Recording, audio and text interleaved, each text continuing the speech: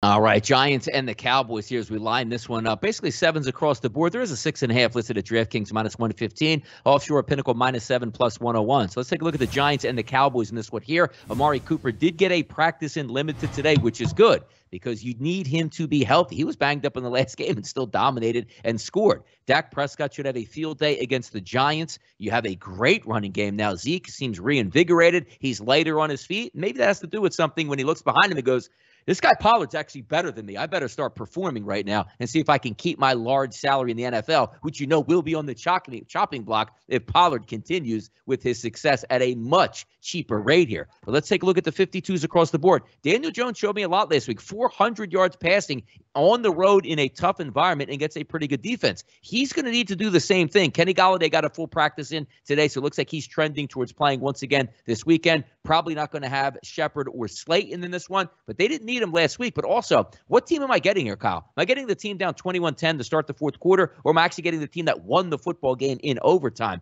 That's what you have to decide because if you think you're going to get a good offensive performance, and it's so hard, so hard to trust Daniel Jones in that offense, then you're probably looking towards the over because it's very hard at this late stage of week five to say, hey, I'm trying to figure out a way to take a Dallas Cowboys game to the under here.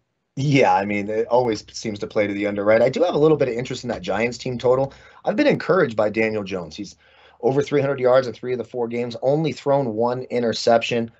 Does look like they may get one of those two receivers back, but hey, John Ross looked fast last week.